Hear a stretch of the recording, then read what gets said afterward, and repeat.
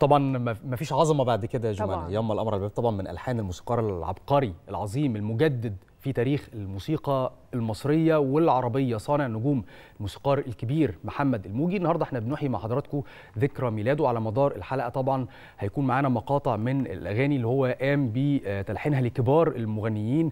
تعامل مع كل المطربين تقريبا. يعني هو واحد من أبرز الملحنين في مصر والوطن العربي وليه إسهامات فنية بارزة في تاريخ الأغنية وقدم أعمال مهمة جدا مع عدد كبير من المطربين يا جماعة.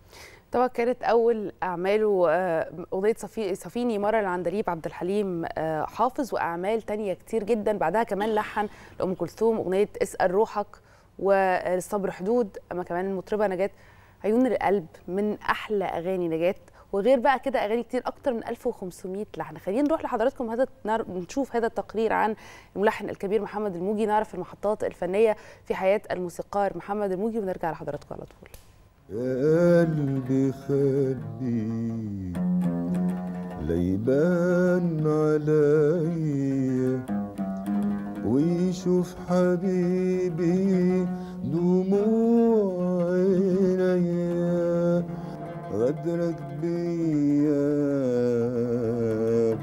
أثر فيا. وتغير شوية شوية. تحل اليوم ذكرى ميلاد الموسيقار محمد الموجي الذي يعد من أبرز الملحنين في مصر والوطن العربي.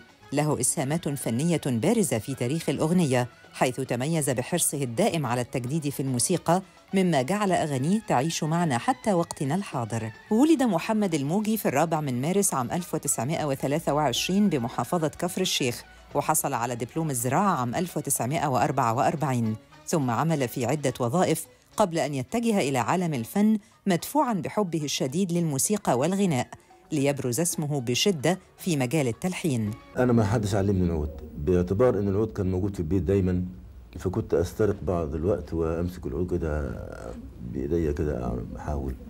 وكان العود ما ينظبطش فأخلي والدي بالليل يظبط العود ويخليه أو ما أجيب ال- القلم ال- الكوبيا.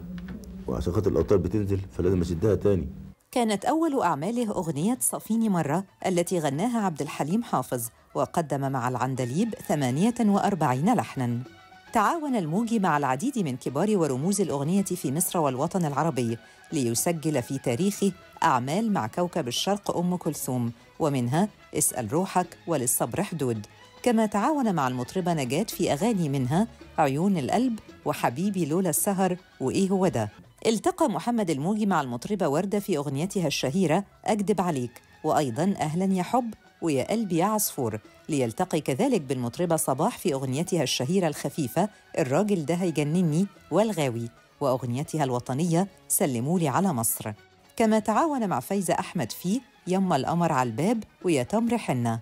خلال مسيرته الفنية حصل الموجي على تكريم من الرئيس الراحل جمال عبد الناصر عام 1965 وعلى وسام العلم ووسام الاستحقاق من الرئيس الراحل السادات عام 1976 بالإضافة إلى حصوله على شهادات تقدير من الرئيس الراحل حسني مبارك وعلى أوسمة ونياشين من أغلب ملوك ورؤساء الدول العربية. توفي الموسيقار محمد الموجي يوم الأول من يوليو عام 1995 بعد أن ترك إرثاً فنياً ضخماً من الألحان الخالدة.